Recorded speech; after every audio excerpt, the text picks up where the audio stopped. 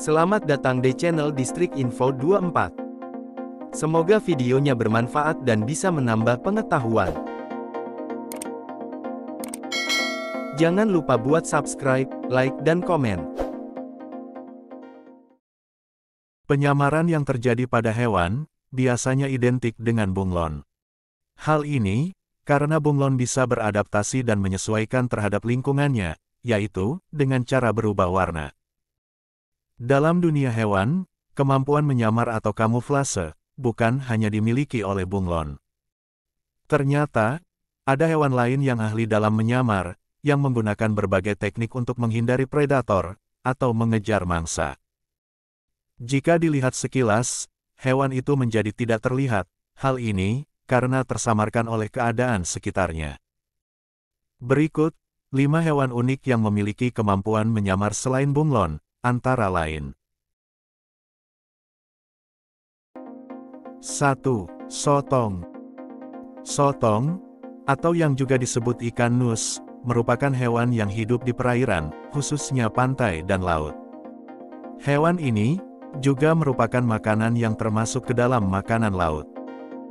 Sotong, merupakan salah satu hewan laut yang paling mengesankan, terutama dalam hal kemampuan menyamar. Mereka memiliki kulit yang dilengkapi dengan sel-sel khusus yang bernama kromatofora. Sel tersebut dapat merubah warna dan tekstur dalam sekejap.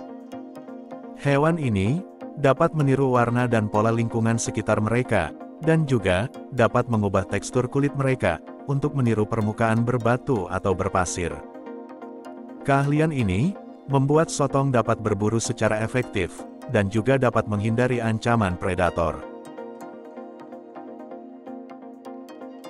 2. Gurita Gurita, merupakan hewan moluska dari kelas Cephalopoda, dengan kategori, kaki hewan yang terletak di kepala, dengan terumbu karang di samudra sebagai habitat utamanya. Gurita, memiliki kemampuan yang luar biasa untuk mengubah warna, tekstur, dan bahkan bentuk tubuh mereka, agar sesuai dengan lingkungan sekitarnya. Dengan kromatofora yang ada di kulit mereka, gurita dapat menyamar dengan cepat, dengan tujuan untuk menyatu dengan lingkungan yang berbeda, mulai dari terumbu karang yang berwarna-warni, hingga dasar laut yang berpasir. Selain itu, gurita juga dapat menggunakan anggota tubuhnya yang fleksibel, untuk meniru bentuk objek lain, seperti batu atau tanaman laut.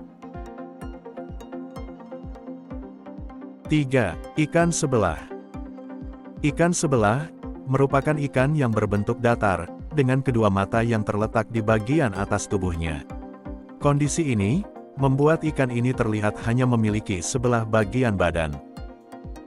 Ikan ini, memiliki tubuh yang pipih, dan dapat mengubah warna kulitnya, untuk menyesuaikan diri dengan dasar laut yang berpasir atau berbatu.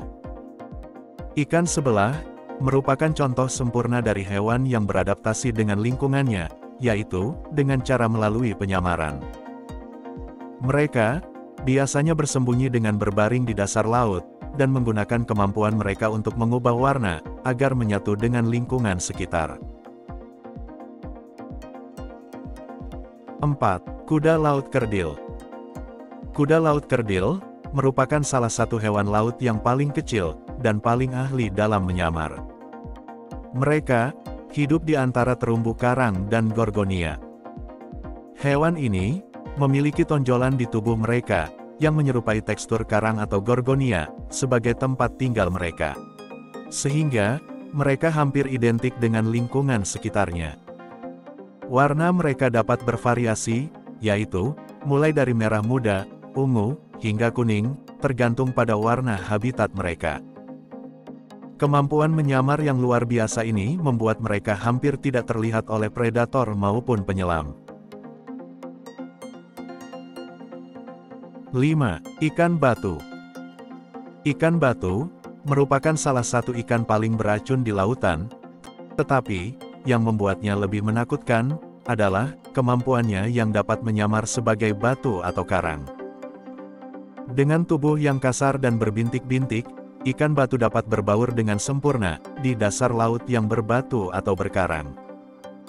Penyamaran ini, tidak hanya membantu ikan batu menghindari predatornya, namun juga memungkinkan mereka untuk menyergap mangsa dengan cepat.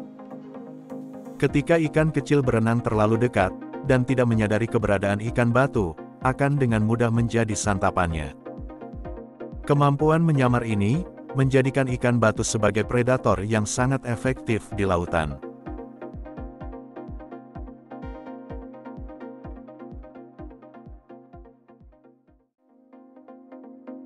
Gimana videonya? Bermanfaat dan seru ya? Jangan lupa buat nonton video yang lainnya. Hanya di channel Distrik Info 24. Sampai jumpa lagi.